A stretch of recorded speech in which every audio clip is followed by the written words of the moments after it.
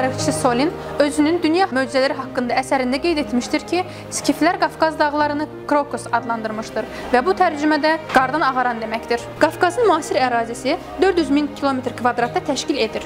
Əhalisi 30 milyon nəfərdir. Regionu Cənubi Qafqazın 3 dövləti Gürcüstan, Azərbaycan, Ermənistan, Rusiya Federasiyasının 2 diyarı Krasnodar, Stavropol və 7 respublikası Adigey, Dağıstan, İnquşetiya, Çeçenistan, Kabardin-Balkar, Qaraçay, Çərkəz və Şimali Osetiya daxildir.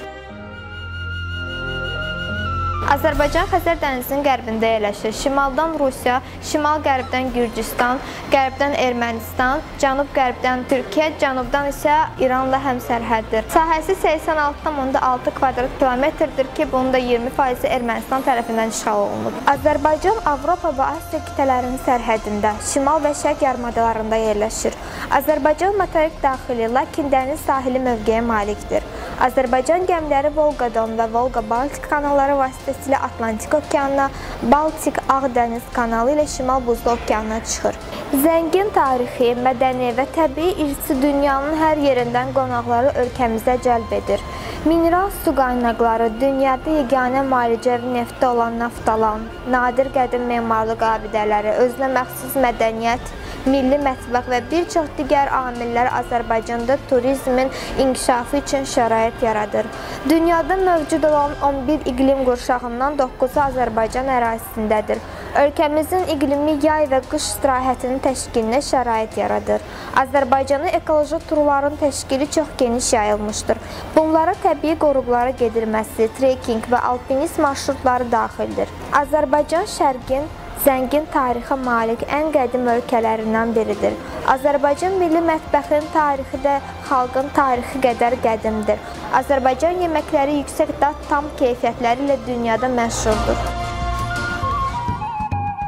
Gürcüstan şimaldan Rusiya, şərqdən Azərbaycan, cənubdan Ermənistan və Türkiyə ilə həmsərhəddir. Ərazisi 69700 e, kvadrat kilometrdir. Gürcüstan aqrar sənaye ölkəsidir. 2004-2005-ci illərdə iqtisadiyyat sabit artım tempi, kiçik həcmli büdcə kəsri, valyuta ehtiyatlarının sürətlə artması, xarici dövlət borcunun idarə olunma səviyyəsinə düşməsi və inflyasiya proseslərinin sürətlənməsi ilə xarakteriz olunur. Gürcüstan ümumi daxili məhsulun istehsalı 1990-cı ildə 8,5 milyard dollar olduğu halda 2010-cu ildə isə 11 1,7 milyard dollara e, qalxmışdır. Proqnozlara görə 2018-ci ildə Gürcüstanın ümumi daxili məhsulu 18 milyard dollar olacaq. Təbiət baxımından Gürcüstan olduqca rəngarəngdir. Ölkənin ümumi sahəsi 69,7 min e, kvadrat kilometri təşkil edir. Beynəlxalq turizm tez inkişaf edən sahədir. 2016-cı ildə turizm sektoru ümumi daxili məhsulun 7,3%-ni təşkil edirdi. 2017-ci ildə isə 6,35 milyon e, xarici turist ölkəni ziyarət etmişdir. Gürcüstan turizm üzrə Milli Administrasiyası ölkə turizmin inkişafı ilə bağlı olan məsələlərlə məşğul olur. 2015-ci ildə 26 beynəlxalq və daxili turizm yarmarkasında iştirak etmişdir. 9 marketinq məqsədli kampaniyalar təşkil etmiş və mətbuat üçün 64 e, tanışlıq səfəri keçirilmişdir.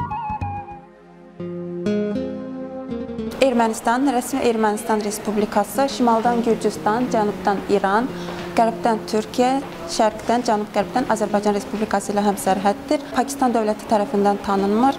Avrasiya İqtisadi Birliyinin üzvüdür. Mədəniyyəti qonşu dövlət Ermənistan işğal etdiyi Azərbaycan torpaqlarında milli sərvətlərimizin, tarixi abidələrimizin dağıdılması ilə məşğuldur. İşğalçı qonşularımız işğal altındakı torpaqlarımızda mədəniyyət abidələrimizin özününkiləşdirilməsi ilə çalışır. Ən çox Ermənistana gedən turistlər e, birinci pillədə Rusiya, ikinci pillədə İrandır. Ermənistana ən çox ziyarətçi göndərən üçüncü ölkə ABŞ-dır. Bu il ABŞ-dan Ermənistana gedənlərin sayısında 6,8% azalma yaşansa da ölkəni ziyarət edən ümumi turist sayısının 10,6%-i ABŞ-dan olduğu bildirilir. Regionuna Rusiya Federasiyasının iki diyarı Krasnodar, Stavropol, Yetiv Respublikası daxildir və bunlardan biri də Dağıstan Respublikasıdır. Dağıstan Respublikası türk dilli və Qafqaz dilli e, xalqların ana dili hesab olunur. Dağıstan nüfuzunun 90,6%-i müsəlmandır, geri qalanı isə xristiyandır. Dağıstan sənaye aqrar ölkəsidir. Təsərrüfat komplekslərində yeyinti, yüngül və maşın qayırma sənaye sahələri aparıcı rol oynayır. Ümumi sənaye məhsulunda bu sahələrin xüsusi çəki çəkisi 83% təşkil edir. Dağıstan ərazisində müxtəlif faydalı qazıntı yataqları, neft, qaz ehtiyatları İzberbaşda Telekomega aşkar edilmişdir. Özünün neft emalı zavodu olmadığından çıxardığı nefti Grozny zavoduna verir. Respublikada 0,5 milyon ton neft və 800 milyon kub metr qaz hasil edilmişdir. Coşqun dağ çayları hidroenerji ehtiyatları ilə zəngindir. Ümumi hidroenerji ehtiyatları 4,5 milyon kvadrat sahə hesab olunur. Şimali Qafqazın ümumi ehtiyatlarının 40%-i təşkil edir. Karanoysu, Sulan və başqa çaylar üzərində Geribil, Tiryurt və Çirkay su elektrik stansiyaları tikilib. İldə 4,7 milyard kilovat saat elektrik enerjisi istehsal olunur.